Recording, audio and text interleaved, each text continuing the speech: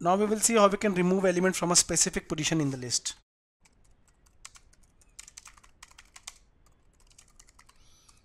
To remove an element from a specific position in list use the del keyword which we saw before. Let us create a new list.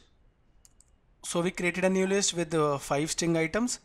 Now let us remove element from a specific position. For that use the del keyword then the object name. After that under square brackets mention the index name okay so let's say I want to remove Darren. So Darren is at at index 1 zeroth index 1 index 0 index 1 this is this will get deleted. And this is also known as second position first position and second position. Okay that is index 1 is position second. So we have deleted it here. Now we will print the updated list. Here it is we printed it. Right click and run. Now you can see we have printed it successfully. We have removed Darren here as you can see in the updated list. We have removed Darren okay? In this way you can remove element from a specific position in the list